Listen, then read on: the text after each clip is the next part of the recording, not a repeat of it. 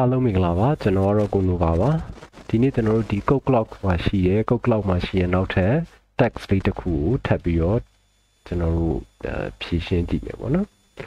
အဲ့တော့သူ text ကတော့ဒါ answer နဲ့ပတ်သက်တဲ့ text ဖြစ်မှာပေါ့နော်အဲ့တော့သူဘာပြောချင်လဲဆိုရင်တဲ့ app server အားလုံးမှာကျွန်တော်ဒီ httpd ပေါ့နော် web server Apache web server ကို install လုပ်ချင်တယ် ပြီးတော့လို့ရှိရင် sample web page ကိုတဲ့ sample web page ကို ansible သုံးပြီးတော့ပဲကျွန်တော်တို့က deploy လုပ်ချင်တယ်အဲ့တော့ကျွန်တော်တို့ playbook တစ်ခုလိုတယ် ansible ဆိုတော့အဲ့ playbook တစ်ခုကိုတဲ့အောက်မှာပြထားတဲ့ဟာတွေနဲ့ကျွန်တော်တို့တိဆောက်ပေးရမယ်ပေါ့နော်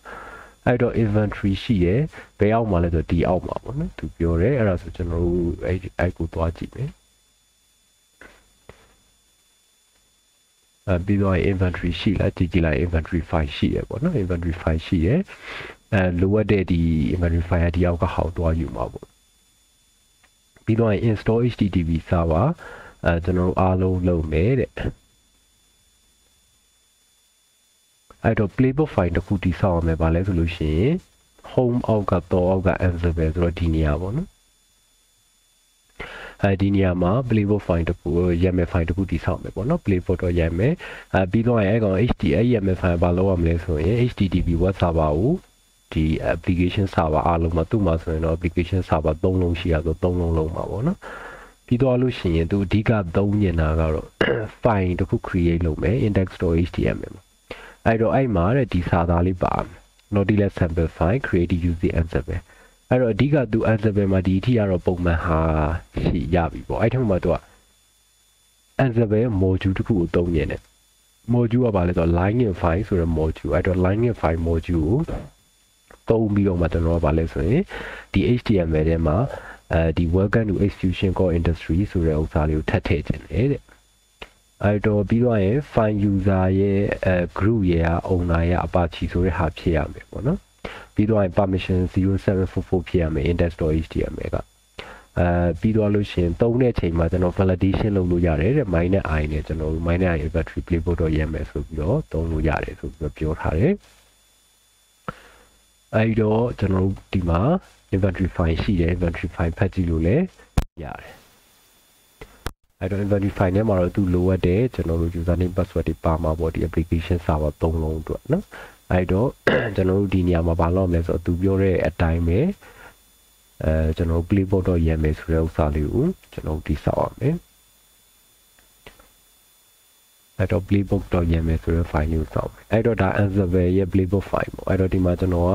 ပုံမှန်တိုင်းပဲကျွန်တော်ရေးပြီးသားဟာတစ်ခုကိုကျွန်တော်ထည့်လိုက်မယ်။ဘာကြောင့်လဲဆိုတော့ဒီကတော့ကျွန်တော်တို့ ansible ကိုရပြီးသားလူ ဖြေတာပေါ့နော်ပုံမှန်ဆိုလို့ရှိရင်တော့ကျွန်တော်တို့ဒီမှာရှိတဲ့ playbook ရေးတဲ့ဥစ္စာအဲ့ဒါတွေရောတော့တစ်စင်ချင်းကျွန်တော်တို့သွားမှာပေါ့အဲ့တော့သူ flow လေးကိုကြည့်မယ်ဆိုရင်တော့သူပေးထားတဲ့ဟာတွေအားလုံးပါမှာပေါ့အဲ့တော့ playbook နေက install http ရဲ့ index html ဆိုပြီးပေးလိုက်တယ်ပြီးတော့လို့ရှိရင် host တွေကဒီ application server ၃လုံးသွားတယ်အဲ tag က http install လုပ်ရမယ် tag အဲ့တော့ name က httpd သူပေးထားတဲ့အတိုင်းပဲ httpd ဖြစ်ရမယ်အဲ state က present sub state အဲ့တော့သူကအမြဲတမ်း running ဖြစ်နေရမယ်ဆိုတော့ဒီကထည့်ပေးထားတယ်အဲ့တော့ content ထည့်မယ် content ကဘာလဲဆိုရင်မရှိဘူးဆိုလို့ရှိလို့ရှိရင်တခါတည်းအဲ့ content ကိုထပ်ထည့်မယ်ဘယ်အောက်မှာလဲဆိုတော့ var www.html အောက်မှာပေါ့နော်အဲ့အောက်မှာ index.html ဆိုပြီးထည့်မယ်အဲ့တော့သူပုံမှန်ပါမဲ့စာသား this is nautilus sample file comma created using ansible ဆိုတဲ့ဟာလေးဖြစ်ရမယ် permission ကိုသူပြောတဲ့အတိုင်းပဲကျွန်တော်တို့0744ပေးမယ် permission 0744ပေးမယ်0744ပေးမယ်ပြီးတော့လို့ရှိလို့ရှိရင်ကျွန်တော်တို့အဲ owner ရော user ရောဟို group ရော user ရော apache ဖြစ်ရမယ်ပေါ့နော် group ရော user ရော apache ဖြစ်ရမယ်အဲ့ဒါရပြီပြီးတော့မှကျွန်တော်ဒီ line file ဆိုတဲ့ module လေးပေါ့သူအဓိက test ကတော့ line file module ansible line file module ကိုသုံးတာအဲ့တော့ဒီ module ရဲ့အဓိက main ကိုကျွန်တော်တို့သွားမယ်ဆိုရင် sorry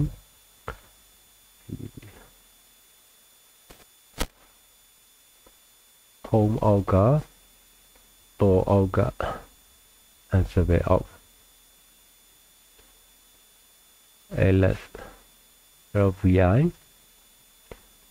playbook playbook တော့ရမယ်နော် playbook တော့ရမယ်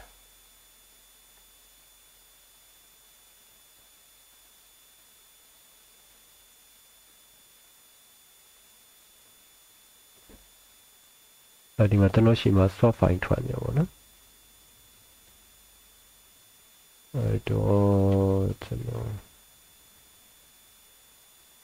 လာထွက်လိုက်မယ် ls minor er နဲ့ကြည့်လိုက် soft file ရှိလိမ့် rm.playboard.yet soft file ထုတ်လိုက်မယ်ပြီးတော့တော့မှကျွန်တော် file ပြန်ဆောက်ပြီးတော့ရင်ခုနဟာလေးကျွန်တော်ပြန်ထည့်လိုက်အဲတော့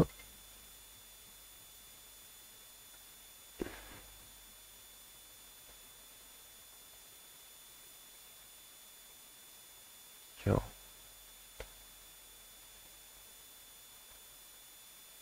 copy line ရဲ့ပြဿနာရှိတယ် okay အဲ့တော့ခုနကကျွန်တော်တို့အတိုင်းပဲ assistant လာတယ်ပြီးတော့ရင်0755ကျွန်တော်တို့ပြောင်းပေးရမယ်0744ဆိုပြီးသူ့ရဲ့ text တိုင်းပြောင်းပေးလိုက်တယ်ပြီးတော့လို့ရှိရင်ကျွန်တော်တို့ဒီ line နဲ့ file ဆိုတဲ့ module ကပါလဲဆိုရင်ကျွန်တော်တို့ file ထဲမှာရှိတဲ့စာသားအခု index.html ထဲမှာရှိတဲ့စာသားကိုကျွန်တော်ကလိုသလိုပြောင်းလို့ရတာပေါ့နော် replace လုပ်တာတို့ regular expression နဲ့ဖြတ်တာတို့ comment ပိတ်တာတို့စသဖြင့်လုပ်လို့ရတဲ့ module လေးပေါ့အဓိကအဲ့ module လေးကိုသူကသိစေချင်တာအာပြီးတော့အဲ့အဲ့အတွက်အပေါ်မှာရှိပြီးသားစာသားရဲ့အောက်မှာ below မှာကျွန်တော် welcome to execution core industry ဆိုတဲ့ဥစ္စာကိုထည့်တင်တာဘယ်အောက်မှာလဲဆိုရင် line insert before ဆိုတော့ BOF အောက်မှာပေါ့နော်အောက်ဆုံးဟိုအဲ့အောက်မှာ BOF ဆိုတာဒီ button ပေါ့အဲ့အောက်မှာကျွန်တော်တို့ဒီစာသားလေးထည့်ထည့်တင်တာအဓိက main ကဒါရေးတဲ့ဥစ္စာတော့ main နော်အဲ့တော့ကျွန်တော်ဒါလေးကိုစီလိုက်မယ်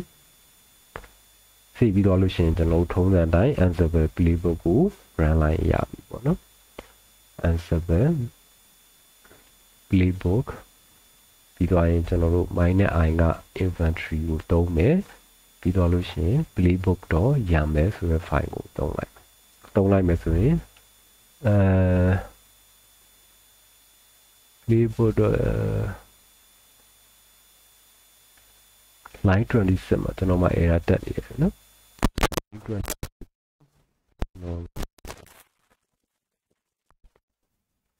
အဲ့တော့ line 27မှာ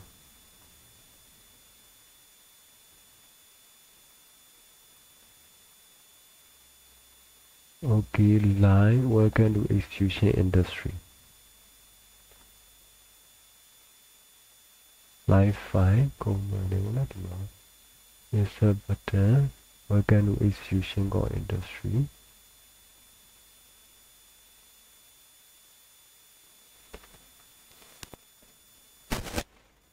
ဒီကောင်လေးပါတယ်လို့ထင်တာ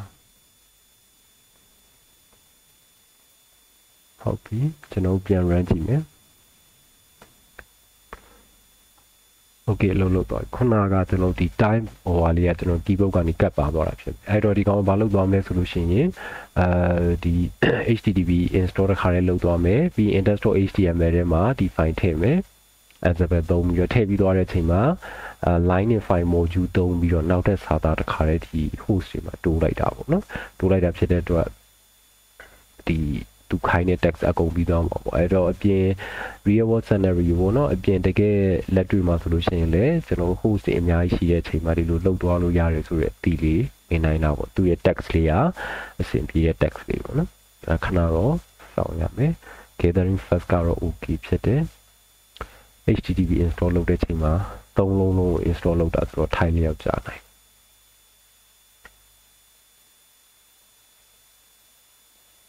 arrow 1 2 3ပြီးတော့ okay 1လည်းပြီးသွားပြီအဲ့တော့ server က startup မဖြစ်သေးရင် startup လုပ်တယ် index.html ထည့်တယ်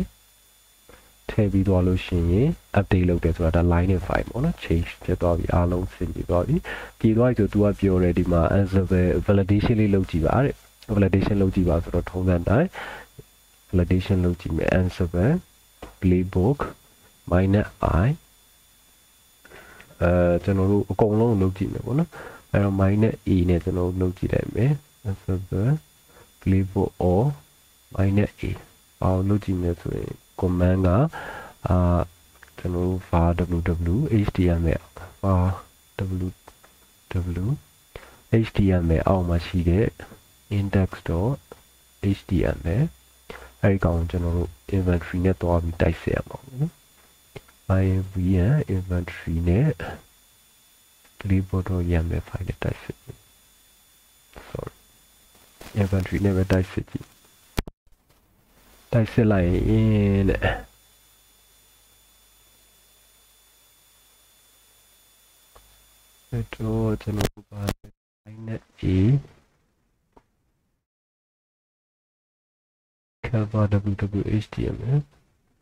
meine eye energy.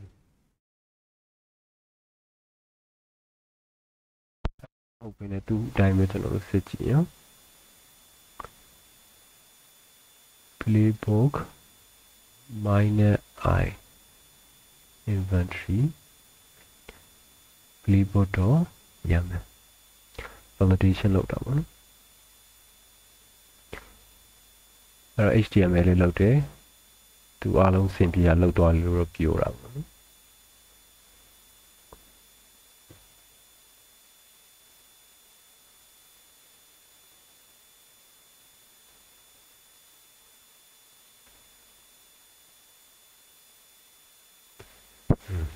ကျွန်တော် CURL နဲ့စမ်းကြည့်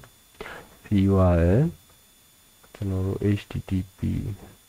st app01 ပေါ့နော် အဲဒါဆိုရင် welcome to execution call ဆိုတဲ့ဥစ္စာရှိတယ် this is nautilus sample file ဆိုတဲ့ဟာရှိတယ်ပေါ့နော်အဲ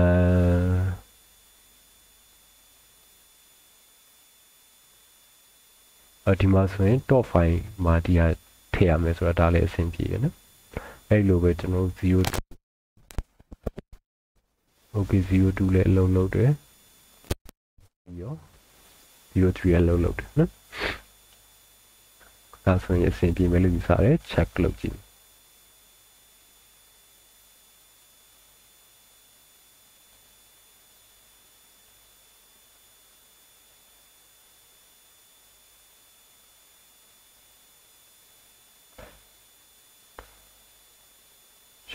လုပ်ကြည့်မယ်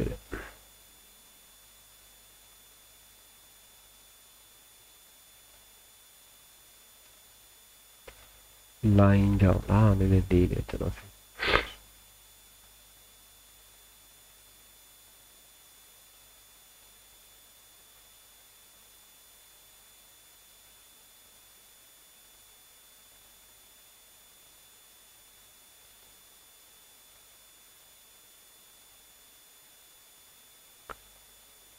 ဒီမှာတော့ ဒီ tab ပေါ်ပိုင်းမှာဆိုသူ့မှာ Ansible တို့ Puppet Kubernetes Docker တို့အဲ့အကြောင်းတွေစုံစုံတော်တော်လေးပါတဲ့ဟာပေါ့နော် lab အနေနဲ့တော့တော်တော်လေးအဆင်ပြေရတော့ဖြစ်တယ် Okay completed ဖြစ်သွားပြီနော်စပူဖြစ်သွားတယ်ဒါဆိုရင်နောက်ထပ် text လေးကြာရင်ထပ်ပြီးတော့အတူတူအဲကျွန်တော်လေ့လာကြည့်ကြမယ်နော်နောက်ထပ် text မှာထပ်တွေ့မယ်အားလုံးကိုကျေးဇူးတင်ပါတယ်နော်